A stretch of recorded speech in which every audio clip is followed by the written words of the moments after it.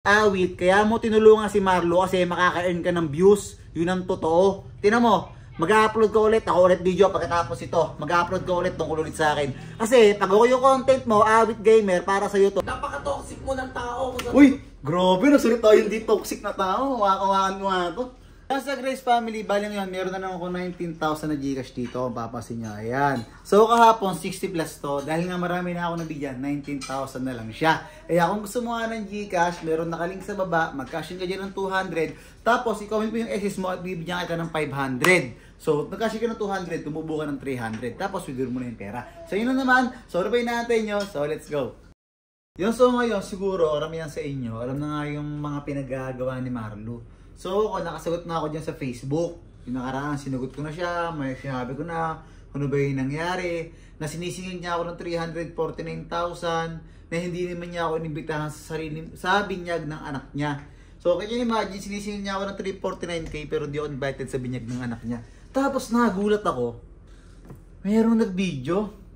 Si Awit na naman. Nag-video na naman si Awit ng kasama si Marlo. Si Marlo umiiyak, ayan. So, di ko lang kung... Kasi hindi ko pa ito napapanood eh. Ngayon pa rin siya papanoorin. So, tingnan natin kung ano mga sinabi sa akin ng dalawang mokong na to ha. Tingnan natin. Hindi siya nauunawaan ng tao. Ang akala nila dito mayabang. Ayun yung pagkakakilala nila dito. Hindi nila alam mabait tong taong to.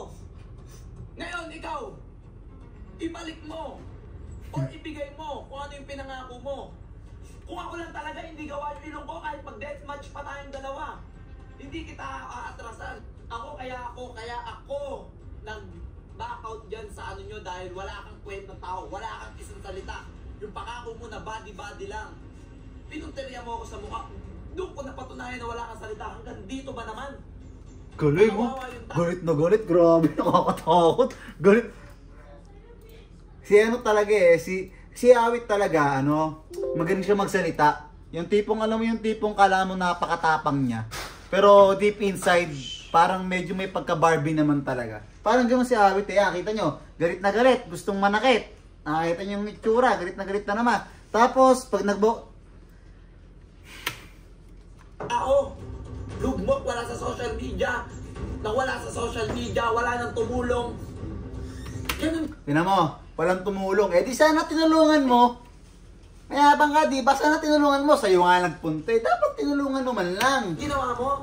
Hmm. Yo, what's up, this out gamer. Ngayon, nandito tayo. Puta, intro pa lang pala yun. 40 seconds yung intro. Parang lahat ng mga gandang, mga gandang sasabihin niya, nilagay niya, nilagay niya na sa intro. Ah. Tayo ngayon sa issue nila ni Merck. Ayan, at Sandra. Pero sa totoo lang naman, wala naman talaga dapat kaming issue nito ni Marlo. Etong si Marlo lang yung nagagawa ng sarili niyang issue. Ako naman akong paka dyan eh. Di ko na kung bakit na isipin niya at tagal na nung nagbinyag ng anak niya tapos sa kanya ako sisingilin. Eh yung anak, binyag nga ng anak niya, hindi niya ako inimbitahan eh. Okay. Or nandito ako para tulungan at lumapit sa akin si Sandra. Grabe yun, dito para tulungan. Grabe talaga si Nandito ako Awit. para tulungan si. Ah. Merck. Actually, tol, ako, kaya kitang bigyan. Pero dahil, tol, merong salita si Merck na dapat ibigay sa'yo, dapat gawin mo yun, Merck. Hindi kami titigil, Merck, hanggat hindi mo binibigay. Talaga. Alam mo ako eh, ganito ako eh. Kung sa akin lumapit si Marlo, kunwari sa akin lumapit si Marlo. Una sa lahat, aalamin ko muna yung totoong nangyari. Marlo, paano ba ako imabot sa ganyan ba? Ba't ba nagkaganto? Ba't ba nagkaganon? Yung muna yung una kong gagawin bago ako magsalita. Kasi syempre, mahirap naman na magkasalita ako basta-basta. Nang si Marlo yung na ano kung ano na yung side na naririnig ko. Tapos may isip ko doon, paano nga ba naman sisingilin mo yung ninong ng 349,000? Tsaka saan mo nakuha yung 349,000? Tsaka grabe naman yung binyag ng anak mo, kasal, 349,000. Hindi mo pa ginawang 350. Nagputol ka pa talaga. Okay. Bigay yung 349,000. Hindi mo pa ginawang 350. O, tinan mo. Kakasabi ko lang. Eh, ba't hindi niya pa ginawan 350? Saan ba talaga nakuha ni Marlo yung 349,000? Tal ka pa talaga, no? Ito ang sasabihin ko sa'yo, Mark, hindi ko papahabahin tong video na to, Oh. tol. Kailangan, Oh. tol, meron kang isang salita. Oh. Meron kang, meron kang gawa, tol. Kaibigan mo to, kaibigan mo to. Hindi iba. Ang unang-una mong pinangakuan dyan, tol, yung anak niya. Pangalawa si Sander. Ang unang-unang-unang-unang dapat nung malawan awit, hindi mo alam yung tunay na nangyari. Bago ako muda. Puta ka ng puta. Parang ano eh. Hindi ka na Kaya, kaya, kaya ka nasusuntok sa muka kasi putak ka ng putak. Dami mong sinasabi, masyado kang madaldal. sa tao, tol. Lugmok yung tao, halos Mga, maghiwal. tira mo sabi niya, Hindi ka na naawa sa tao, tol. sabi niya hindi na raw ako naawa sa tao. Tol, pinili niya magkaanak. Pinili niya magkaroon ng sarili niyang pamilya. Ba't ako maawa sa taong ganyan? Once na pinili mo magkaanak ka na, da, kumbaga sinabi mo sa sarili mo na kaya mo na. Kung di mo pala kaya magpamilya, saan hindi ka mabuo ng pamilya mo? Nagpabinyag ka, tapos ngayon dapat naawa ako sa'yo. E, decision mo yan eh. May, may sabi ba ako na magpabinyag ka na bukas? Kaya ikaw may gusto. Ba't ba ganun yung mga tao ngayon? O, tapos. Lugmok yung tao, halos mag yung pamilya niya. Ha? Gumawa ng binyag, tol. Oh. Gumawa ng binyag si Sanderford para mabuo yung pamilya niya. Okay? Gumawa ng... Tapos ikaw na nangako, sinira mo, tol. Sinira mo, kailangan ibalik o ibigay mo kung ano yung pinangako mo. Ang Actually, nangyari ngayon, nagkaroon pa ako ng utak. tol, hindi mo kang pera sa Sanderford. o, yun naman pala eh. Gusto ko lang iparating sa'yo na nangako ka sa tao at marami siyang pinagputangan dahil nangako ka. Tama mali. Eh, Marami Oh, siyang pinagputangan. grabe yung uyok ni Marlo dito sa mga. Grabe oh. Pag sinabing bayaran oh. Pinagputangan dahil nangako ka. Tama mali. Marami siyang Kaya ko rin yun eh, yung ganung Kaya ko. pinagputangan eh. Abash nga siya ng tao, hindi nga siya nauunawaan ng tao eh. Tolo ko na sa lahat kasi, paano ba mauunawaan si Marlo? Ikaw, ikaw, ikaw na ikaw, kung matino kang tao, iaasa mo yung binyag sa ninong ng anak mo. Kung ako, kunwari, ako, kunwari, sinabihan ako, sagot ko binyag ng anak mo, totoo man o hindi. Oo, gusto ko yun, pero deep inside, parang ayoko, syempre, yung pride ko natapakan eh. Na bilang tatay, na ako dapat yung magpapabinyag sa anak ko, sasagutin ng ninong. Ay, nako. Di ba? Hindi siya nauunawaan ng tao. Ang akala nila dito mayabang, Tol, kung di mayabang si Marlo, sana ngayon, artista pa rin siya. Yun ang totoo dun. Kung di mayabang si Marlo. ayun yung pagkakakilala nila Tsaka isa pa, ikaw, awit, ang dami mong sinasabi, sana nagpunta ka sa binyag ng anak ni Marlo. Kung makapagsalita si Kupal, kala mo naman talaga nandun siya sa picture nung ano eh, no? Kala mo talagang Gina Jean na nandun siya sa binyag eh, no? dito. Hindi nila alam mabait tong taong to. Na- Lahat naman ng tao mabait, meron tayo kanya-kanyang bawi yun. Ngayon, ikaw, Hmm. ibalik mo or ibigay mo kung ano yung pinangako mo. Aatrasan. Ako kaya ako, kaya ako nag back out dyan sa ano nyo dahil wala kang kwentang tao, wala kang isang salita. Kung meron walang isang salita sa, sa atin, awit, ikaw yon. Ako kasi, yung mga ibang tao kasi nami-misinterpret ako pa nagsasalita ako kasi ako, mayabang kasi talaga ako pati paano ako magsalita. Sipin mo, bago tayo maglaban awit sa BOTY, sinasabihan mo ako pag tama kita sa muka, bardagulan tayo. Tapos yung tama kita sa muka, hahamonin mo ako ng suntukan sa labas, eh nasusuntukan na nga tayo sa taas ng ring. Yung pangako mo na body-body lang. Pero, pwede naman, tol, pagbibigyan kita, magbadihan naman tayo. Magbibigyan kita, amin. Wala sa mukha, as in badihan lang tayo. Body challenge lang tayo, pre. Kung gusto mo, bibigyan kita. Hanggang ngayon, di mo pa rin matanggap na, mat- na natalo ka. Diyos ko. Pinunteriya mo ako sa mukha. No,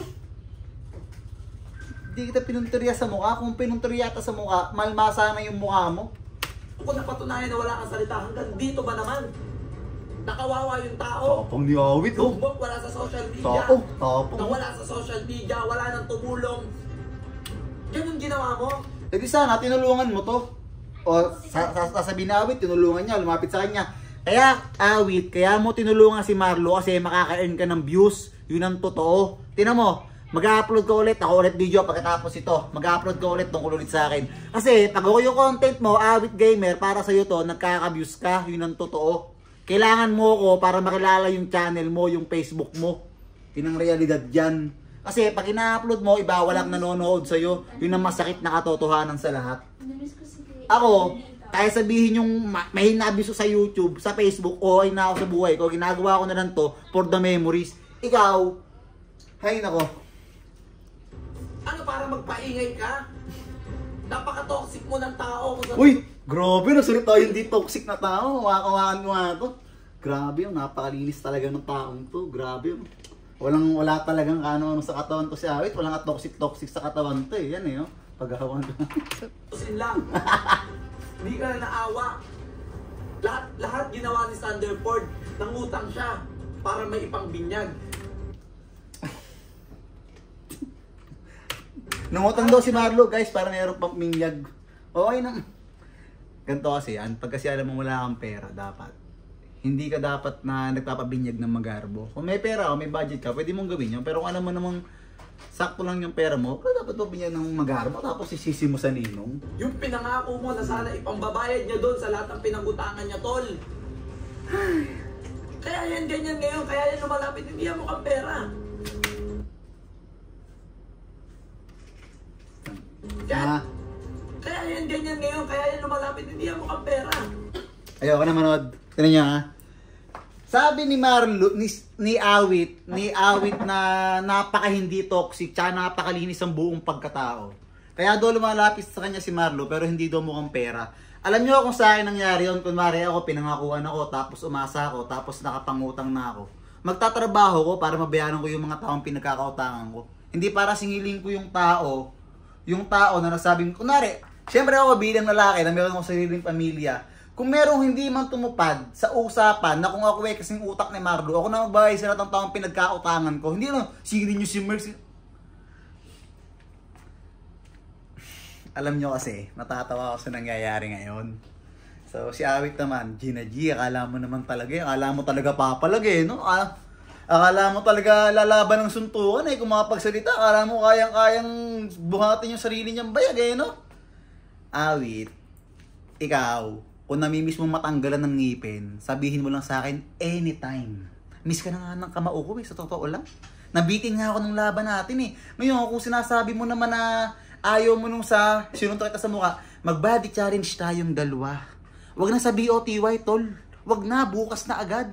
Kung totoong matapang ka, kung totoong may, may bayag ka, mag-body challenge tayong dalawa. Nakaganto lang, pre. Body challenge naman, kahit tig isang minuto. Hanggat walang naload, walang titigil. Ako, kaya ko yun, min. Ikaw, kaya mo ba?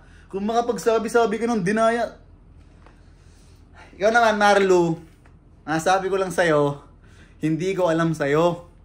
Ang dami-dami mong lalapitan, si Awit pa, dapat si Kuya MG nilapitan mo. Anong papala mo sa mukhang na yan? Wala ka mapapala dyan. Binentahan ng Corvette niya bago sabi-sabi.